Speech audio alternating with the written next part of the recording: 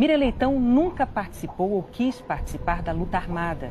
É, eu, eu disse para ela, olha, Miriam, ela disse para mim, chegou uma RP para você aí, uma rádio patrulha. Para mim, Miriam? Por que para mim? Miriam Leitão nunca participou ou quis participar da luta armada. À época, militante do PCdoB, Miriam atuou em atividades de propaganda. Nós temos que fazer uma ação, uma ação de propaganda armada ela foi presa e torturada, grávida aos 19 anos. É, eu, eu disse para ela, olha, Miriam, ela disse para mim, chegou uma RP para você aí. Para mim, Miriam.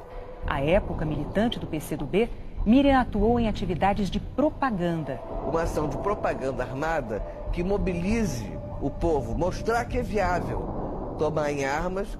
No auge da ditadura de 64, em 1973, Miriam denunciou a tortura perante a primeira auditoria da aeronáutica no Rio, enfrentando todos os riscos que isso representava na época. O João Lopes Salgado, que é ex-militar, treinou todo mundo, pegou umas, uma, umas balas de INA, era, era a metralhadora que a gente usava, do exército. A gente roubava nas guaritas, uh, aqui no Leblon, entendeu? Era assim.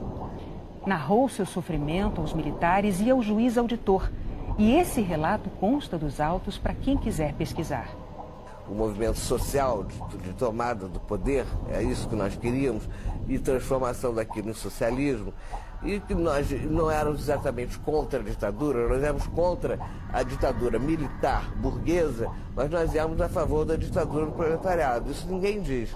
Mas tem que dizer, faz parte da nossa história.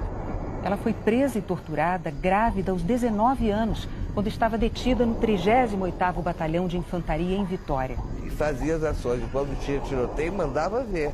A jornalista foi julgada e absolvida de todas as acusações formuladas contra ela pela ditadura.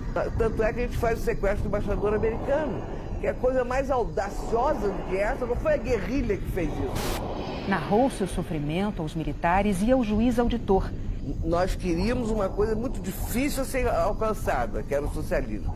Então a gente divulgava, a gente fazia panfletagem, divulgava as nossas ideias. E as armas para nos proteger. Agora, uma nota de repúdio da Globo aos ataques que o presidente Jair Bolsonaro dirigiu à nossa colega jornalista Miriam Leitão. Esses insultos, no passado como agora, em sinais trocados, apenas demonstram a maior das virtudes de Miriam como profissional. A independência em relação a governos, sejam de esquerda ou de direita ou de qualquer tipo. A Globo aplaude essa independência pedra de toque do jornalismo profissional e se solidariza com Miriam Leitão. Nós queríamos uma coisa muito difícil a ser alcançada, que era o socialismo. Que era o socialismo. É, eu, eu disse para ela, olha, Miriam, ela disse para mim, chegou uma RP para você aí, uma rádio patrulha. Era a metralhadora que a gente usava, do exército. A gente roubava nas guaritas, uh, aqui no Leblon, entendeu? Tanto é que a gente faz o sequestro do embaixador americano que é a coisa mais audaciosa do que essa. Quando tinha tiroteio, mandava ver. Uma ação de propaganda armada e que nós não éramos exatamente contra a ditadura, nós éramos contra a ditadura militar, burguesa, mas nós éramos a favor da ditadura do proletariado. Isso ninguém diz. Mas tem que dizer, faz parte da nossa história. Tudo na Globo é tendencioso e manipulado. Tendencioso e manipulado.